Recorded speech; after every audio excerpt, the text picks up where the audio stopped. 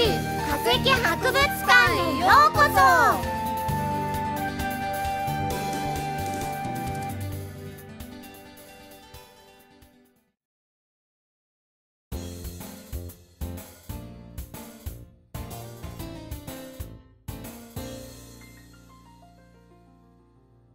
こんにちは。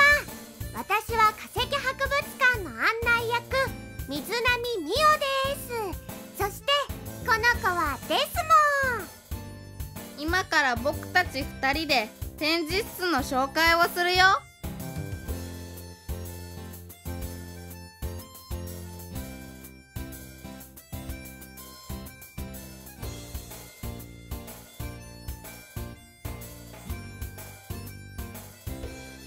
この博物館にはたくさんの化石があるんだけどその中でも一番は入り口に飾ってあるこれ。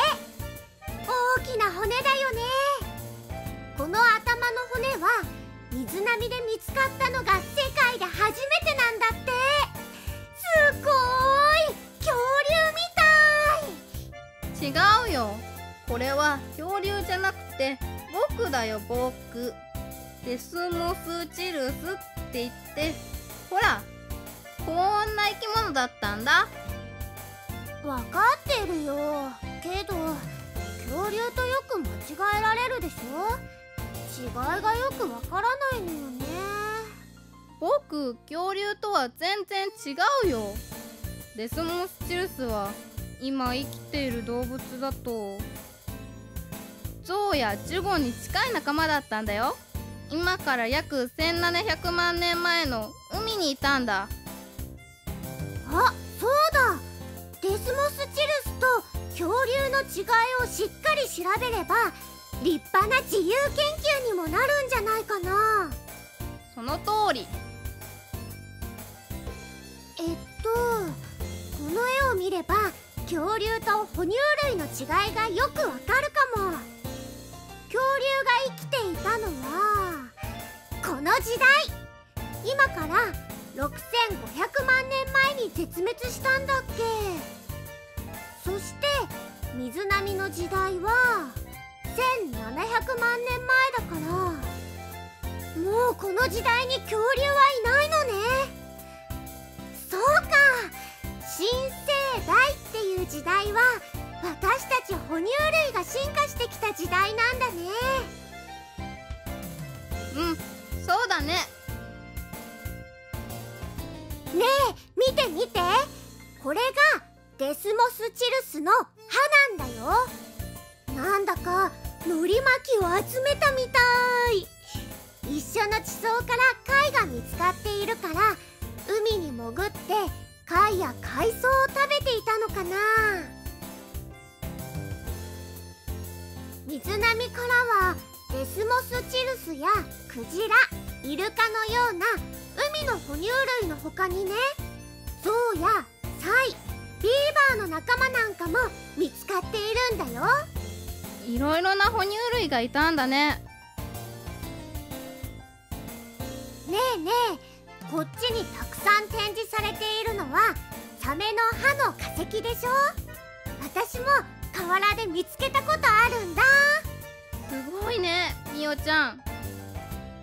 黒くキラッと光っててかっこいいから特に人気の化石だよね 細長いものだったり大きなものやノコギリのようなものとか種類によって全然形が違うでしょ？ここの野外学習地でも発掘することができるけど貝を1000個見つけて1個取れるっていうくらいすっごく珍しい化石なんだって。ここは貝化石のコーナーだね。本当にいろいろな貝の化石が見つかっているね。この貝化石の研究から1700万年前の水波は海だったと考えられているんだって。ああこれ私のつけている首飾りと同じだ。確かビカリアっていう貝でしょ？そう。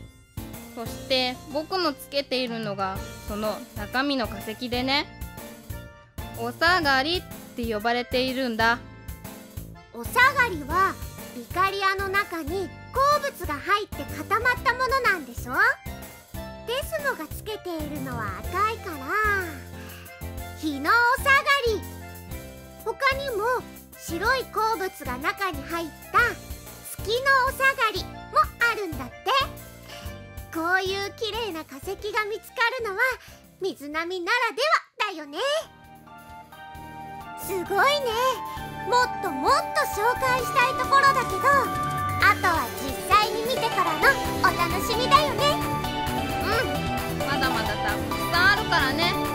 それじゃあみんなゆっくり見て。いて